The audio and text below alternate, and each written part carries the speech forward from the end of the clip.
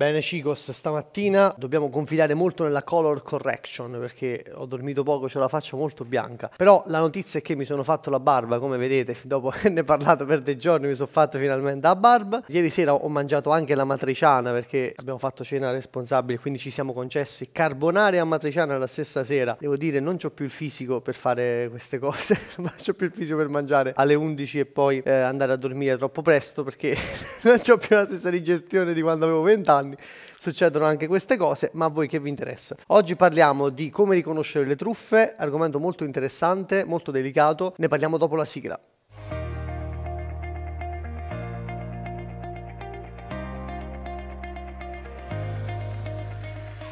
Molto bene, allora, dato che è un argomento delicato, vorrei parlarne con leggerezza, va bene? Infatti è tornata anche la nostra amata pallina. Allora, come riconoscere le truffe? La truffa, quella lì più evidente, di cui si è parlato tanto in questi anni, è il classico sistema piramidale, piuttosto che sistema Ponzi. Ne sto parlando perché mi sono accorto che comunque molti non, ne, non la conoscono, soprattutto anche di quelli che mi seguono, non li conoscono che cos'è uno schema Ponzi, quindi cerchiamo di parlarne. Negli anni alcune persone hanno imparato, il primo dovrebbe proprio essere stato questo Ponzi, questo italiano se non erro, ferro, poi non mi sono documentato così tanto, però il concetto è quello. Hanno imparato a fare sta truffa, cioè ti chiedono dei soldi e tu in cambio di questi soldi dovresti percepire o un guadagno automatico oppure un guadagno sulle persone che si iscrivono sotto di te. Cioè tu dai dei soldi e poi devi far iscrivere altre persone. Se fai iscrivere altre persone, guadagni una percentuale su di loro. Dove sta la truffa? Nel fatto che inizialmente sembra un sistema bellissimo, cioè sembra un sistema, wow, che figata, cioè se io faccio iscrivere persone prendo soldi, quindi basta far iscrivere delle persone a questo fantomatico programma e quindi tu guadagni da loro. La truffa dove sta è che guadagni una percentuale chiaramente, non tutta la quota. Quindi, per esempio, tu metti 1000 euro, fai iscrivere due persone sotto di te e mettono 1000 euro, no, non l'azienda, non è nemmeno un'azienda in questo caso. Il, la piramide, lo schema piramidale, quindi il vertice della piramide prende i soldi e tu prendi una percentuale su questi soldi. Quindi a te basta che ne porti due, poi gli altri ne porteranno due. Tutto quello che devi fare è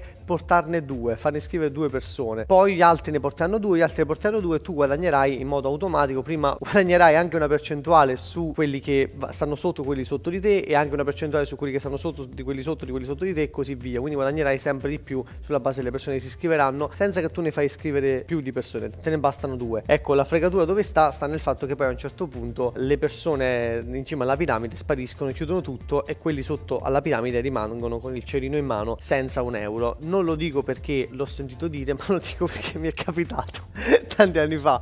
Però sì, mi è capitato. Avevo degli amici che comunque lo facevano, ero molto sicuro perché comunque era un ambiente protetto, mi fidavo molto di loro, eravamo comunque nel mondo della formazione, quindi mi sentivo abbastanza protetto. Lo vedevo che lo facevano tutti i miei amici, o almeno i, i principali, quindi lo feci pure io e ci ho perso dei soldi, ci ho perso circa 1000 euro, 1000 rotti euro. Ho anche purtroppo convinto delle persone a farlo, in realtà una persona a farlo che ci ha perso pure lui dei soldi. Poi fortunatamente ci siamo fermati senza perdere troppo, però ci ho perso dei soldi anni fa. Tra l'altro mi hanno detto anche recentemente che è stata fatta una class action per questa cosa e abbiamo anche vinto, quindi potrei anche riavere parte di questi soldi, ma non ci ho mai sperato sinceramente, perché l'ho fatto? Perché ero diverso, avevo 20 anni, avevo 22, 23 anni, digerivo ancora bene quando facevo quando mi mangiavo il kebab o la matriciana la sera, digerivo ancora diversamente e soprattutto avevo meno esperienza di queste cose. E ne ho fatte esperienze e chiaramente, ripeto, secondo me ci ho perso anche pochi soldi, perché poi quella è una coaching da 1000 euro. Se ti è capitato, non prendertela a male. Le persone che lo fanno commettono un reato, cioè è proprio illegale come cosa. Quindi lo, loro si devono preoccupare. Tu non ti preoccupare, cioè se ci hai perso dei soldi per te è una coaching, è una coaching da 1000 euro, cioè ti hanno insegnato queste cose. Ogni volta che io perdo dei soldi nella mia vita dico vabbè ho fatto una consulenza da 1000 euro, mi è costata 1000 euro di consulenza e va bene così. È un bel modo di dare significati positivi a questa cosa, chiaramente se poi non lo fai più, perché sennò che consulenza è se continui a rifarlo. Ripeto, c'avevo meno esperienza e alla base però c'era un meccanismo che è molto interessante, di cui dovremmo parlare, ed è il voler guadagnare senza dare valore. Perché tu cadi in una truffa? Che cos'è che attira i gonzi, cioè quelli che si fanno fare fessi? Ma ero un po' un gonzo anch'io, cioè ero, ero ingenuo. Volevo guadagnare in modo facile, in modo automatico, in modo passivo. Ecco, queste sono le parole a cui devi stare attento. Guadagni in modo automatico, passivo. Non per forza sia truffa tutti i guadagni automatici, però tendenzialmente è molto alta la possibilità di essere truffati quando senti queste parole. Guadagno automatico in modo facile, non devi fare niente, devi fare solo una cosa e poi oppure devi solo pagare e poi ci pensiamo noi. Ecco, quando senti queste frasi scappa il più lontano possibile, datela, lascia stare. E al 99% c'è una truffa dietro. E ripeto, il meccanismo che sfruttano i truffatori è il tuo bisogno di avere successo senza dare valore, senza creare una contropartita di reale valore per le persone. Quando ho capito questa cosa, chiaramente mi sono focalizzato non tanto sul cercare l'opportunità, e questo è il classico opportunity seeker, cioè il cacciatore di opportunità. Io cercavo opportunità di guadagno facili, ma mi sono focalizzato sul dare valore, cioè volevo certo trovare delle opportunità di mercato, ma chiunque faccia un imprenditore cerca delle opportunità di mercato, pure se apri una pizzeria è un'opportunità di mercato, perché c'è un posto in cui le persone potrebbero andare a mangiare e hai questa opportunità di dare questo servizio in cambio di un contributo economico che loro ti danno, cioè quando pa- pagano la pizza. E, e quella è un'opportunità, però i cacciatori di opportunità seriali sono quelli che non danno valore, cioè la, la contropartita della pizzeria è la, appunto la pizza, quindi c'è una contropartita. La truffa sta proprio nel fatto che tu hai bisogno, hai questo bi- disperato bisogno di guadagnare lo capisco perché davvero io quando avevo 20 anni tutto quello che volevo erano un po' di soldi al mese che mi permettessero di non fare un lavoro che non mi piacesse. Solo que- questa era la mia priorità e penso che molti di voi ce l'hanno sta cosa. Cioè mi bastavano anche 500, anche 1000 euro al mese, poiché comunque non mi mantenevano i miei genitori, quindi mi mantenevo da solo. Avevo fatto dei lavori che non mi piacevano. A me bastavano pochi soldi al mese che almeno, almeno non devo, uh, come posso dire, non devo fare qualcosa che detesto completamente. Non volevo diventare milionario con questi sistemi. Mi bastava pochi soldi al mese, pure 200, 300 euro al mese, che almeno qualcosa c'avevo così che potevo fare soltanto quello che mi piaceva, soltanto i lavori che mi piacevano, potevo scrivere, potevo fare radio, tutte le mie passioni a 20 anni e dicevo poi col tempo magari ci guadagnerò anche, però eh, nel frattempo mi bastava qualcosa, questa era la mia leva, però anche lì senza una contropartita reale, questo è molto pericoloso, è molto pericoloso perché se non c'è la contropartita reale, cioè se non c'è il prodotto, poi questa cosa diventa, diventa proprio illegale, oltre a una truffa per le persone è proprio illegale come cosa. Invece per esempio ci sono altri sistemi di network marketing che magari io non condivido perché io non faccio network, ma questa è una mia opinione personale, non è illegale, non faccio network per una mia scelta. Ho deciso di dedicare le mie energie completamente al tutto il discorso del project management, imprenditoria, la mia azienda, non volevo essere defocalizzato da altre cose. Ma questa è una scelta mia, non c'entra con il discorso che stiamo facendo, però lì non è illegale perché? Perché c'è, o almeno ci dovrebbe essere, il prodotto. Cioè se tu fai scrivere delle persone sotto di te che consumano caffè, per esempio il classico network del caffè, e ci guadagni su una percentuale su di loro, quella è una cosa assolutamente legale. Però c'è il prodotto, vedo il prodotto il caffè, o che ne so, l'integratore di turno. La cosa illegale è quando il prodotto non c'è, quando non guadagni per un prodotto, oppure anche lì è illegale quando il prodotto è finto, cioè quando ti dicono che c'è il prodotto ma in realtà il prodotto non c'è, oppure è un prodotto di facciata per mascherare in realtà un guadagno solo sui soldi che portano soldi che portano soldi. Mentre invece se il prodotto c'è, è chiaro che tu puoi guadagnare una percentuale, sei, sei semplicemente un rivenditore dell'azienda, network marketing o come lo vogliamo chiamare. Poi altre cose di cui dobbiamo parlare, mi raccomando datemi dei feedback nei commenti se questo video vi è stato utile, se non lo sapevate o se lo sapevate già, perché io credo che sia molto utile parlarne. Per tanti anni non ne ho parlato perché pensavo che fosse inutile, dico vabbè tanto la gente lo sa, poi mi sono confrontato con un po' di persone e mi sono accorto che non si sa che cos'è il Ponzi o il piramidale eccetera eccetera. E quindi secondo me è giusto parlarne, non è mai, non è mai vecchio come argomento. Altre cose che possono riconoscere la truffa, i venditori che spingono, cioè se c'è un venditore che spinge in modo eccessivo, non è che per forza una truffa, però è un indicatore, è un indizio. Se il venditore spinge tanto, ecco per esempio la frase questo è l'unico modo per avere successo, fare questo corso è l'unico modo per avere successo, così andiamo anche un po' nel, nell'ottica della formazione, dato che è il nostro settore, parliamo un po' a tutti i pericoli se vogliamo o alle cose a cui stare attenti nella formazione, che magari non sono proprio illegali, però sono comunque pericolosi e da starci attenti. Dicevo, il venditore che spinge, quindi quello che ti dice devi comprare questo corso oppure devi comprare questo prodotto perché è l'unico modo per avere successo, è l'unico modo,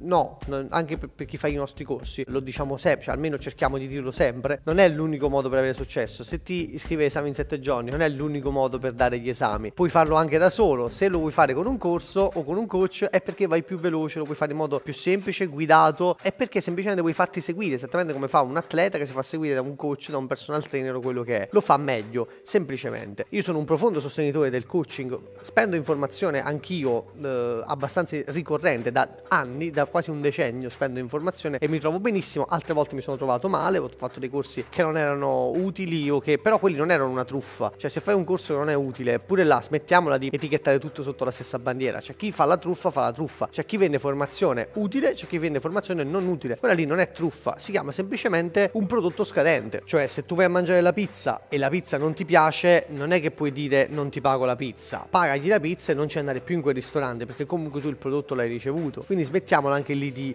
Eh, perché si crea molto vittimismo da questo punto di vista. Ah no, perché tu mi hai truffato, ma eh, se, se l'hai comprato è perché lo volevi. Ma in realtà, se proprio vogliamo dirla tutta, anche nel caso della truffa di prima, ripeto che il sistema Ponzi piramidale sono cose illegali, quindi non le fate, non vi ci avvicinate, però se ci siete già passati, davvero è un modo per osservarsi, potete imparare qualcosa, potete osservare il vostro bisogno di guadagnare, eh, ripeto, è quello che ho osservato io, lo dico per esperienze personali, ho osservato il mio bisogno di guadagnare passivamente, di guadagnare senza far niente. In realtà non volevo dare valore alle persone, ero tutto incentrato sui miei bisogni, il mio bisogno di fare la, la cosa che piaceva a me e non davo valore alle persone. Quando invece ho mitigato il mio bisogno di esprimermi, di essere creativo, con il dare valore alle persone, quindi dare qualcosa che aiutasse veramente le persone, allora ho trovato poi la, l'intersezione della mia vita, l'ikigai della mia vita, perché era utile per il mondo, era utile per me, era bello per me, era bello per gli altri, lo sapevo fare, eccetera, eccetera. Nel frattempo fatti un altro lavoro, se, se vuoi fare un'altra cosa fai il cameriere, fai l'animatore, fai un altro lavoro che ti ripaga inizialmente le tue passioni finché non riesci poi a guadagnare con il lavoro che ti piace, che aiuta le persone, eccetera, eccetera, eccetera. Quindi tornando alla formazione, secondo me dovremmo smetterla di etichettare tutto quello che non ci piace come truffa. Non è una truffa, hai, hai investito nel prodotto sbagliato, basta,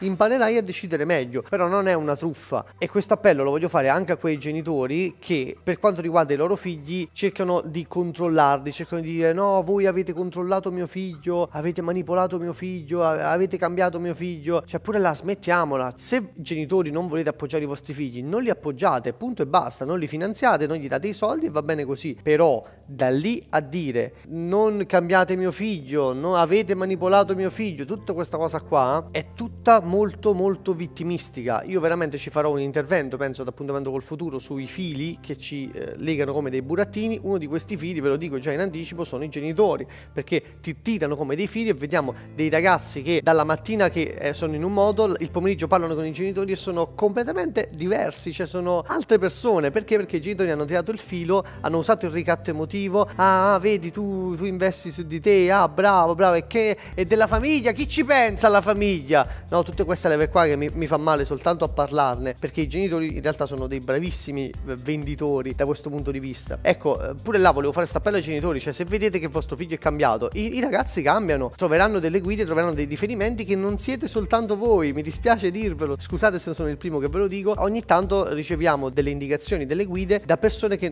non sono, non siete voi. Lo so che magari adesso state pensando, tu non hai figli Andrea e quindi non puoi capire, va bene, lo capirò meglio quando avrò dei figli, però penso che sia assolutamente normale che una persona trovi delle guide, dei punti di riferimento, magari su delle cose in cui tu non sei stato un punto di riferimento e mi dispiace dirtelo se te lo sto dicendo io, però è così. Questo non vuol dire che uno vuole negare il discorso del padre e della madre, anzi noi siamo i primi che incentiviamo il dialogo con i genitori. Io lo dico ogni corso, ogni corso ho sempre detto ragazzi, non voglio fare il rovina famiglie, tornate a casa, parlate. La frase che dico ogni corso, ci sono tutti gli studenti testimoni che dico non tornate a casa e fate quelli che hanno capito tutto. Non, non tornate che, che guardate le altre persone come quelli che adesso io conosco la comunicazione, la vendita, so il lavoro su di sé, so che siamo noi a, cambiare, a creare la nostra realtà. Non fate così, le persone poi pensano che siete andati in una setta di persone che poi esistono anche queste, forse dovremmo parlare anche di queste, delle persone che poi ti manipolano per, per stare con loro, ci sono de- delle sette, forse ci dovrei fare un video solo su, su, quello, dai, ci farò un video solo su quello, comunque delle persone che creano dei sistemi per tenerti dentro, ma a volte ti fregano anche i cellulari, cioè ti prendono i cellulari, prendono i tuoi dati e ti ricattano per non uscire dalla setta, hanno proprio dei, dei tuoi dati personali e ti dicono non, non, lo puoi fare altrimenti noi diciamo questa cosa su di te oppure che ne so usiamo i tuoi codici bancari. Eh, io fortunatamente non ho mai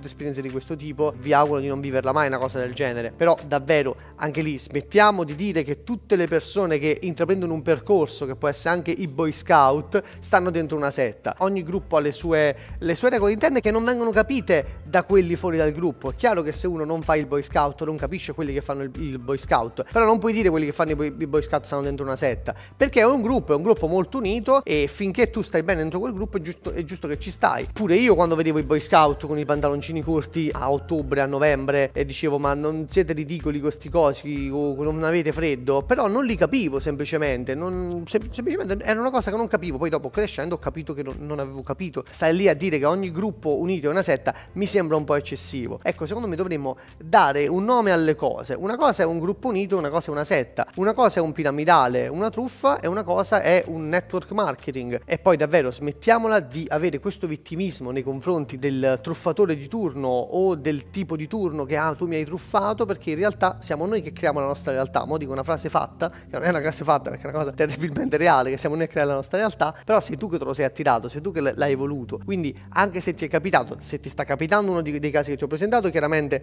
lascia perdere, però se ti è capitato negli anni precedenti eh, o nei mesi precedenti una cosa del genere, ricordati che te lo sei creato tu, che, prob- che probabilmente ha una tua utilità, esattamente come un incidente stradale, esattamente come qualsiasi cosa brutta può esserti capitata, te lo sei creato tu, ha una sua utilità e puoi stare lì a fare la vittima e a lamentarti di quello che ti è successo, oppure puoi decidere di imparare qualcosa e di aprire un po' di più il tuo cuore perché realizzi che quella cosa in realtà l'hai attirata tu. Ma di questo magari ne parliamo in un altro video più dedicato.